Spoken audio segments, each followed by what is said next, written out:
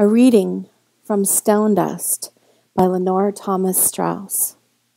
Each day I take the hammer and the point, but the granite is still itself, and the carver is still separated, searching in its hardness, reaching to be one with what is hidden. Its shape has not been touched. Some days only tiny fragments are worried from its mass. Other days, over and over, the sharp ring of hammer on pitching tool slowly dulls to a low and muffled moan as a piece separates, shivering, and falls free.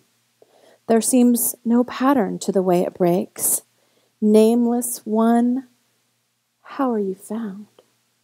Nameless one, how are you found? These words rising unsummoned to mind, surface, tumbled out, demand their shaping on this paper. They surge to speak to that awesome growth, that growth cuts away. Not a reflection of a posture to be admired and modified. Not the best profile of the spirit, complexly double imaged in the shallow mirror, but a harsh forming of the anguish that is the true condition. So in my heart I heft their weight and shape this knowing. I am Shiloh Sophia here for a Red Thread Cafe with my dear friend Grace. And we are here to talk about a voyage and a lineage. This reading is from a book. We have two of her books here that was created by Lenore Thomas Straus, an artist who began in the 20s and 30s and continued her work under the Roosevelt administration's New Deal. The books are illustrated, written, and photographed, and the first few printings were created and printed by the artist herself.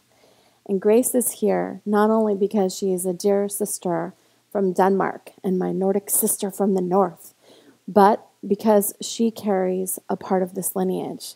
So I've invited her here to have a Red Thread Cafe with all of you so that we could hear the voyage to the Tenderstone. Welcome, Grace. Thank you, Shiloh. We we feel so excited about this. We talk about it like children, right? About what is it that has called us to this togetherness? Yeah. And where did it come from and what is the call? And so I'd love for you to speak to us first about just what called you to the work of intentional creativity and how it's connected with the North and your own lineage. Yeah. Well, um, I've always been a, a, a, woman of the North. Um, it's in my blood. I, I, love the coolness. I love the wind. I love the clarity. I love the darkness. I love the light. Um, also, I, I'm a nature person. But along with this comes this natural urge to just express it. Mm. Express it naturally, you know. How can I share this beauty? How can I be with it? Um, and I remember um, when I first came across one of your paintings, I was actually searching for the image of the goddess of the north. and I was not looking for the usual ones. I was yeah. not looking for Freya and all the other beautiful deities, but I was looking for, like, what is the mother of the north? Mm. And one of your images sort of stopped me, and I had to find out who, who created this. um, and from there on, when I came across your work, it was only once or twice a year. It was like my heart started longing. Mm. And at that time, I had actively uh, joined Circle with a lot of other very beautiful women of the North from Iceland, from Norway, from Sweden, from Denmark. And we had started to remember the ancient ways of being with nature. Mm-hmm. So, um, so it was so natural to to sort of, I don't know. It was like two streams that became one, Yeah. two opposites that became one. And I remember the first time that we connected, both through email and also on the phone. And um, she's a graduate of the Color of Women Intentional Creativity Method. And you're supposed to say um, in your application who sent you or how did you hear about it. And she wrote that Sue Sellars had sent her. And I thought, did she know Sue? Speaking of which, we are here in front of a painting by Sue Hoya Sellars called Eve's Orchard, which actually belongs to the author Alice Walker, and it's on loan here. And so we decided to have our cafe in front of um, the great great mother. And when we began to dialogue, because I also have um, heritage from the north, from Sweden and Finland, and a little bit of Danish, and we and and Norwegian, so it was all in there when we were speaking we realized that she would be the first person to come into the training from the north and we both felt like there was something there. And it was only it wasn't too long after that we began to make the connections that sue's teacher lenore is from norway. And i think we did talk about it on the on the first call like that that the norway connection. And so we felt like there was a larger conversation that was taking place that we were a part of a dialogue an ancestral dialogue of a returning, Yes. which is an interesting part of this other book, The Tenderstone, about a return to honoring ancestry. And in our own way, we're doing that and then also bringing the conversation of the voyage forward. So we thought we would include you in our process. And I thought we could hold the thread, the thread of connection, and include all of you who feel like being included, who have studied intentional creativity with us or you're new to it, that intentional creativity simply means to uh, to bring mindfulness to whatever you create, and it is a kind of a consciousness.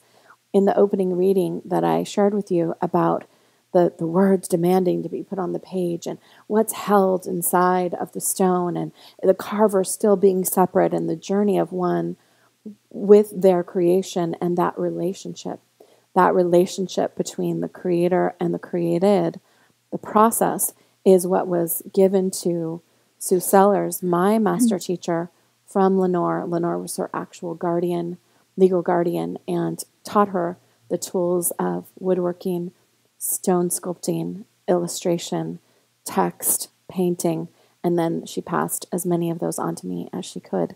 So we want to include those of you who want to be included in the red thread. The red thread is that sign of connection that has a sense of knowing with it that says that if you're supposed to be connected, you are working your way towards that connection. And so Grace is going to do a reading from the Tenderstone and then speak to us about her call to the Tenderstone. Yes.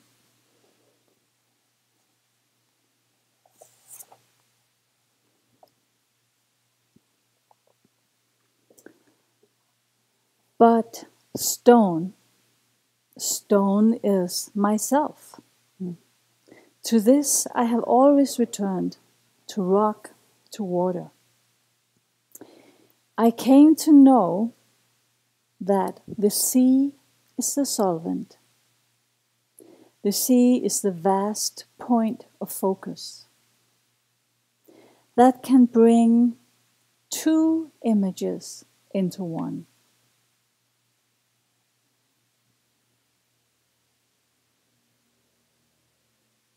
Beautiful. Yeah. And we, um, after our, our first real encounters over over the cosmos, Jonathan and I actually felt called to go to Denmark to be with Grace and her family and to teach together. And then things really started firing. Um, but something really exciting has occurred that we feel like we're a part of. And that this lineage that we're practicing, that was passed from Lenore to Sue, to me and now to thousands and thousands and thousands of people is so much more than a mm-hmm. concept, but it is a kind of a, a philosophy. And there is energy and essence to it that called you. So tell us about your voyage. yeah. Well, the, the, the thing was when I was called to, to you and to intentional creativity, it was it was like two different forces. Mm. And I was like, why why will I study with the lady in California, even though I have traveled the world? Because at that exact time I had been working very consciously for a few years with retrieving the wisdom of the North. And I remember when, when you said in, in our interview, our first conversation, but don't you know that it, it sprang from Scandinavia? And that was the thing. Like, of course, I'm being led to find to find the lineage where it is. And I decided at that moment that as soon as I I was called, I would I would go there to actually walk in the footsteps of Lenore and um, when we decide things in our life, we know we have to do it. but sometimes it's not in an hour or tomorrow. It's when everything's everything flows together and becomes one. So it took me a few years, and I had to graduate and so on. but finally, I was I was ready to go to the northern part of of, of Norway, which is called Lofoten, and these are islands that Lenore portrayed like this. It's rocks coming out of the ocean. Mm. Um, and even though I could purchase the ticket, I had put aside time, I couldn't get access. And, and by that I mean I couldn't get the right, you know, ferry to go with, to match with the plane. To it, just, it didn't work. And I remember that but this is the lineage that I have been welcomed into. Why why can't I just go? And, and I, it's not, even though it's in Scandinavia, it's not close. It's, it's a not, journey. Yeah, it, it's a it's a twelve hour journey to go from Copenhagen. You should think things are easy, but this is really a a, a sacred place. Um, and finally, I remember that that you were actually in the UN sharing your red thread uh, ceremony, and somehow an opening occurred because at the same day I was able to book my tickets and and just be ready to go. So the thing is, I had planned to arrive and then go at the full moon and visit the tender stone uh, that Lenore gave to the Lofoten Islands, which is uh, the place of her ancestors. And on the following morning, I woke up and the calling in my heart was so immense that I simply just had to sort of jump out of my my little room I had rented and and go pick up a rental car. And it was very strange because, you know, I planned the flow and didn't really think about it. So here I am driving two hours in rugged, rugged area, and, and it's not easy to, to, to come from one point to the other. And finally, I I text Shiloh and I say, I don't know what's happening, but uh, but you need to know that I'm traveling in our lineage footsteps. And it was kind of a surprise because she kept part of this a surprise for me. I knew she was making the voyage, but I didn't know exactly when, and I was just blown away that this was happening. Exactly. So here I am in front of the, the tender stone and it's an evening and the sun is setting. And as i am a communicator with nature i'm always very observant to how is nature you know how, how is it? And driving towards her i see the, the, the little silhouette and i see the oceans and the mountains and i of course see a rainbow which is one of my yay you know there is color welcoming. Um, and the thing is, I have I have traveled to a lot of places around the world, visiting divine spaces, and often looking for the mother. Mm. You know, churches, nature points. And when I came to this very very beautiful stone, 53 years after Lenore donated her to the Lofoten Islands, to the, to the land of her ancestors.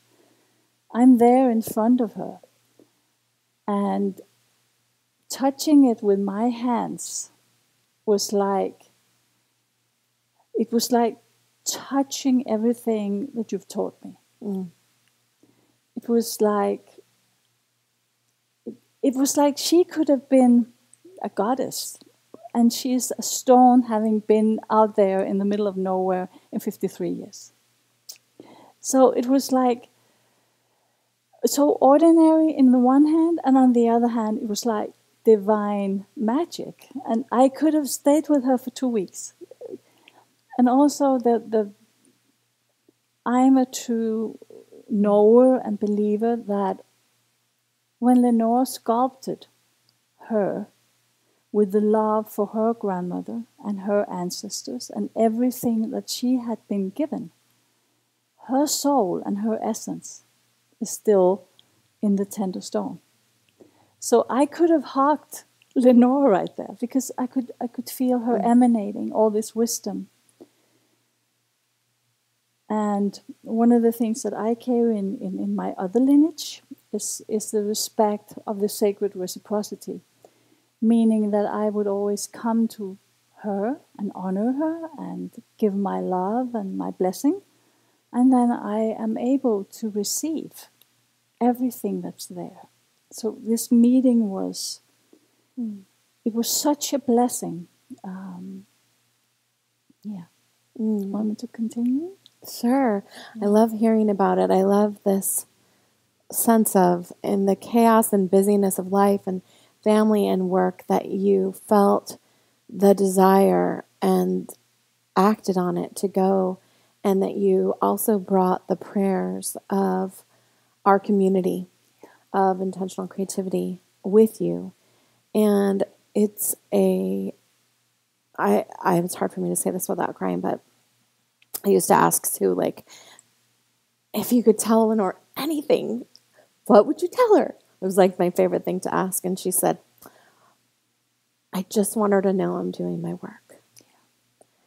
And by Grace going there, it was like some loop of energy was completed somehow that then opened something else. But the sense of not only, yes, Sue did her work, but we are doing the work and we have come home to the ancestral place to say, we're doing the work. We've carried it on your message did not go unheard. Yeah.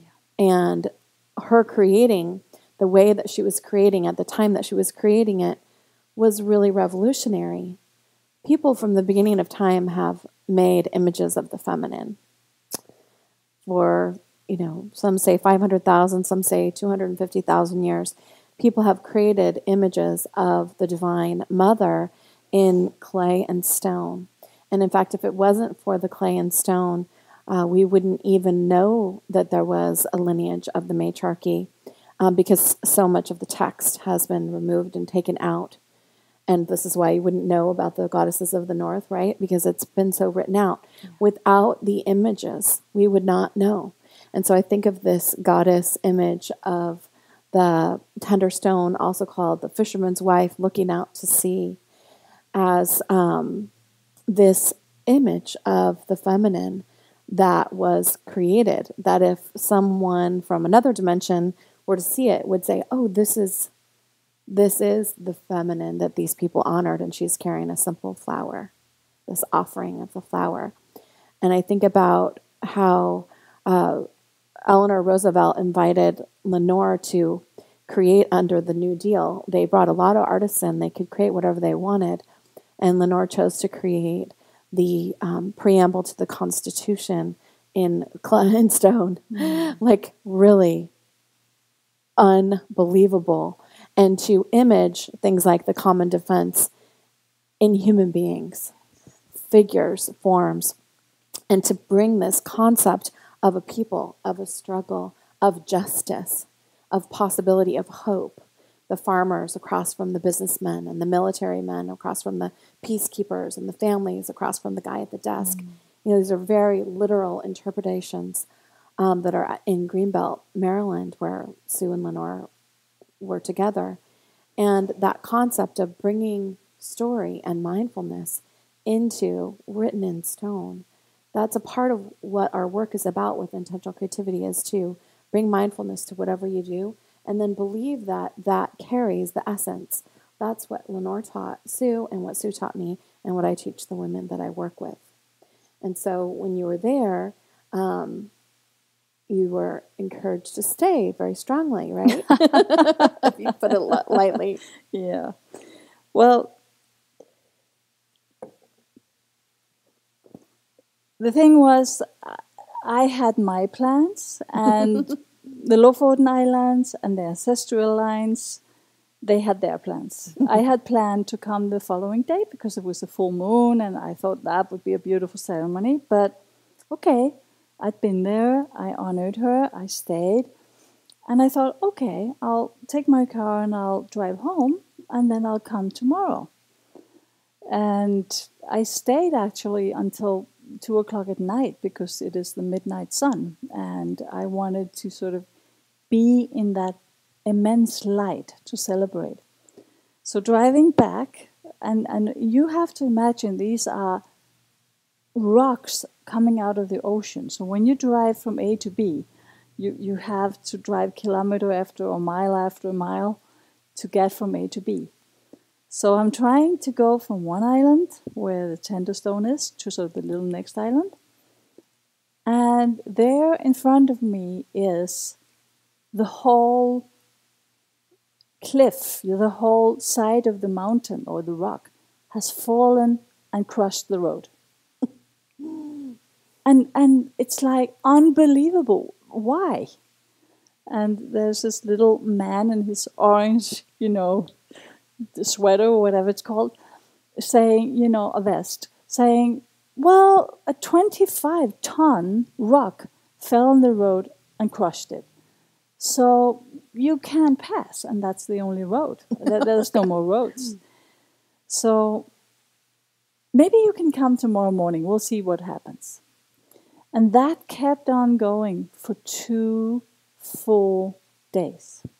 Every time I tried to approach the road, I couldn't go back. And I couldn't I couldn't go anywhere. So I simply had to park my car somewhere and sleep because and find some water, you know, close to a waterfall. It's all clean there. And the other thing that I actually did was I managed to get this book. You know, I bought it before I left, but I didn't want to open the book before I, I, I came to the Lofoten. I, want, I wanted to be in her footsteps. So I would simply open the book and read on. And then During I, the whole journey. Yeah, and then I would go to the place that you told me about. So can you imagine? I'm there. It's been 53 years. I'm honoring lineage. And everything alive is talking to me, telling me what to do. And I could have been side by side with Lenore because she spoke from here and she spoke through nature. Mm. Um, now I've got you here. You're not leaving yet. I know. so the following day, I of course went there and I asked, you know, I'm a woman and I know that I can't do anything or haven't been able to do anything if it hadn't been for my ancestors. The love of my ancestors, all of those who walked before me, and everything I've been given from our meeting, from our sharing, is so enriching and it's like I don't see myself if I can't see your light and vice versa. So it's so important that that we share. And intentional creativity released so many stories and pains and I would say shadows from my heart that I longed to release and I couldn't. Mm. until, even though I, I, I see myself as a very, I've been walking my path, but still, without this, I, I couldn't have. So it was, it's like bringing, you've been a spirit woman your whole life, Yeah. but bringing it into form through creating. Yes, Yeah. in this specific way. Yeah. And most important, probably, the Mm. feeling of the oneness is so important. So, the first time I came, the first evening I came to the Tender Stone, here I am in, in front of, of, of, it could be Mary, it could be the Madonna. She, she was so beautiful. And she's out there in the middle of nowhere. And I was like, oh my God, isn't she lonely? You know, how can a stone be lonely? But I had this, are you lonely? Mm. And in a way, when I see her, she's facing the ocean, as you as you will see, and, and she has the mountains. She's so content because she's holding the love uh, from that lineage, from our lineage. And in the same time, she's like, I'm like, oh, we need to remember her. We, we, mm. we need to remember this purity and creativity and that we are the result of the love of thousands. We are. So the second day, I asked her if I could do a red thread session with her, the statue, the, the figure. And she said yes. The first day, no, but the second day, I was able to sort of do the, the very beautiful ritual. And I felt that her message to me that I would like to offer for everybody is when you when we are born, we are born with an urge to celebrate our lives, Mm. to, to love our lives, to love nature, to love beauty. And, and we want to celebrate it by creating. It doesn't matter what it is, but we, we are also natural creatives. And it's like that part is the part that we have forgotten or has been taken away from us or so many in so many lives in such a long time mm-hmm. we have been taught that the natural urge to create is a waste of time Right. and actually it's the journey home so that was the, the, the biggest thing that the, the gift that i left with Mm. was do remember that it's a birthright, it's a birth joy, Mm. and and cr- celebrating and creating is the best way to to share who you are. Mm. What a beautiful message to receive, and I, I fully agree. I feel like creativity is so much more than as well. It has very little to do with talent. Talented people can also be creative, but it isn't about being an artist or being talented. Creativity is our natural right. We all have it. Sue always used to say we all have the same amount of creativity. It's just really how we use it and express it. And the the time that intentional creativity came to life, I was in my 20s and I was sculpting in Sue's studio as wedging clay. And I, I was tired of wedging clay. We'd been making it and I didn't want to do it anymore. And I said, Can't we just get clay at the store like the other families? I was kind of joking, but kind of serious. And she said, What do you care about seeing changed and healed in the world? And I said, I would love to see the end of suffering and violence against women and children contribute to that. And she said, Put that into your clay. And she said, The energy you're putting into it will impact you and it will impact the women you're praying for in real time. Believe it. And my whole being came into being. Like that was my moment where I came into my identity and I woke up to whatever degree I was awake in that moment.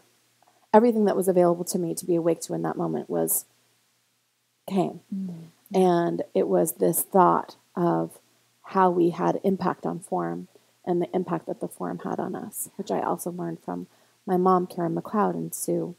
And my mom, you know, raised me with these thoughts. Mm. And so we wanted to bring you this message of creativity along the red thread and share the importance of listening to the voyage as it calls you forward. And you may not know why you feel called to something. You may not know why this seems like the most important thing in the world, and you have to get on a boat and go to a remote island uh, and um, be stopped by a giant rock so that you could listen to the messages. So we um, thank you so much for tuning in for a little Red Thread Cafe.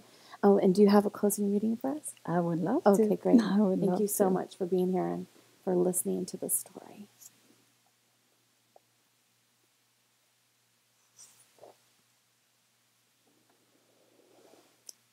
Rock is eroded by water. Mountain is tenderly covered by cloud. Sea force is channeled by rock. There is no victor, there is no vanished, vanquished, vanquished, vanquished, Vanquished? vanquished.